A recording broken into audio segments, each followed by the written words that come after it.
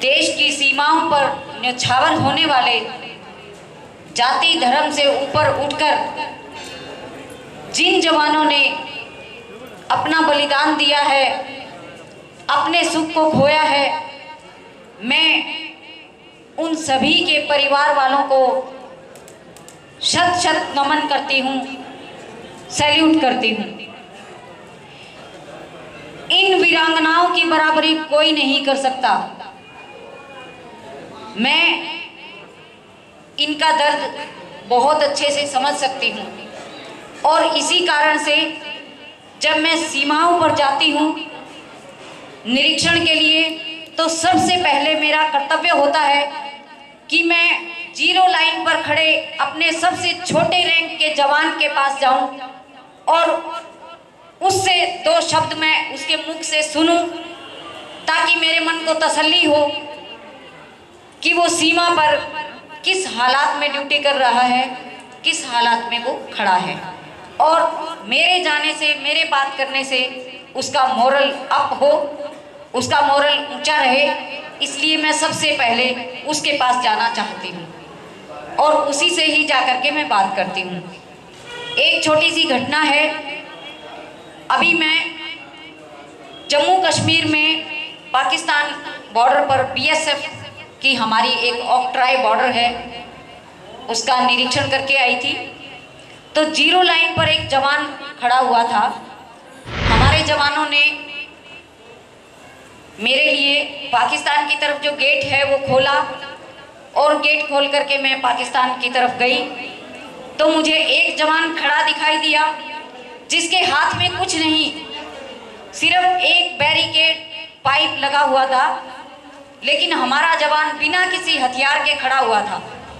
मुझे देख करके बड़ी हैरानी हुई कि वो जवान बिना हथियार के कुछ हमारे बीच में नहीं है, कोई फेंसिंग नहीं, कुछ नहीं, और खड़ा हुआ था ज़ीरो लाइन पर। तो मैंने जा करके सबसे पहले उसी से पूछा, क्यों भैया? आप बताओ, आप कैसे हो? किन हालातों में ड्यूटी करते हो? आपको कैसा लगता है? लेकिन वो जवान अपने मुँह से कुछ बोल नहीं पाया। उसका गला रुंध गया और आँसू उसकी आँखों से झरझर झरझर गिरने लग गए। तो मैंने पूछा, मैंने कहा, भाई, तुम अगर इतना कमज़ोर दिल रख के यहाँ खड़े होगे तो हमारे देश का क्या होगा? आपको कोई भी तकलीफ़ है, आप मुझे बताइए। इसी समय अगर आपका कोई, आपको शारीरिक तकलीफ़ है, कोई ऑफिसर आपको परेशान करता है, या परिवार से आप किसी तरह से भी कोई परेशानी है तो आप मुझे बताइए। लेकिन उसने ये कहा कि नहीं, मैडम, मुझे किसी चीज़ का दुख नहीं है। मुझे आपको यहाँ देख करके मेरे पास इतनी खुशी हो रही है कि ये खुशी के आँसू मेरी आँखों से झरझर गिर रहे हैं कि मैं एक अपनी बहन को अपने पास देख रहा हूँ, जहाँ कोई नहीं आता, कोई परिंदा भी दिखाई नहीं देता। लेकिन उसके बात सुनकर के मुझे इतनी खुशी हुई और मैंने कहा कि भैया, जो भी तकलीफ़ आपके परिवार में है, आप मुझे बताइए, क्योंकि आप हमारी रक्षा करते हैं। आपकी तकलीफ़, आपके परिवार की तकलीफ़, हमारी तकलीफ़ है। आप आधी रात को भी आवाज़ देंगे, मैं आपके परिवार के पास खड़ी हुई मिलूँगी। और वो जवान, उसने कहा कि नहीं, मेरी दो बेटियाँ हैं, मैडम। एक बेटी एमबीबीएस कर रही है, दूसरी बेटी इंजीनियरिंग कर रही है। वो बिल्कुल आपके जैसी हैं। मुझे आपको देख करके उनकी याद आ गई और मैं ज़रूर उन बेटियों से कहूँगा कि जब भी कभी तकलीफ़ में हो तो वो आपसे संपर्क करें। और मैंने उनसे वादा किया है कि मैं किसी भी जवान के घर से अगर किसी भी कोने में, देश के किसी भी कोने में कभी आवाज़ आएगी, कभी फ़ोन आएगा, हमारे जय हिंद मंच की टीम पूरे देश भर में है। सबसे पहले हमारी टीम उनके पास पहुंचेगी। ये मैं जय हिंद मंच के राष्ट्रीय अध्यक्ष सुरेश शर्मा जी की बात को आप तक पहुँचा रही हूँ।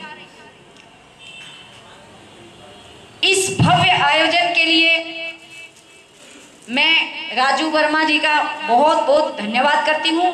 इनको शुभकामनाएँ देती हूँ और बधाई देती हूँ। और उम्मीद करती हूँ कि भविष्य में भी इसी तरह के कार्यक्रम को आयोजन करें और इस तरह से हमारे देश के लिए कुर्बान होने वाले जो शहीद हैं, उनके परिवारों को हर समय सम्मान मिलता रहे। हम सब लोग आज एक संकल्प लेकर के जाएँ कि जो शहीद होते हैं, उनके परिवारों को उस दिन तो बहुत लोग पूछते हैं, मगर बाद में सब लोग भूल जाते हैं और वो बात पुरानी हो जाती है। तो आप लोगों से मेरी ये अपील है कि आप उनको जो है भूल, इस घटना को भूलने ना दें, उन परिवारों को भूलने ना दें। आप उनको हमेशा याद रखें और जिस भी तरह की आप मदद कर सकें, जिस भी रूप में कर सकें, आप उन परिवारों की सहायता कीजिए, उनकी मदद कीजिए और उनको प्रोत्साहन दीजिए। तो ये मेरी आप लोगों से अपील है। मैं खुद भी ये जो परिवार के लोग बैठे हैं, ये हमारे जो भाइयों को खो चुकी हैं, मैं इन वीरांगनाओं को भी अपनी तरफ़ से एक आश्वासन देती हूँ कि मेरे लायक कोई भी काम हो तो मैं चौबीसों घंटे तैयार हूँ। किसी भी समय मुझे ये अपना जो भी काम है वो बता सकती हैं। ये मेरा आप लोगों से वायदा है। इसके साथ ही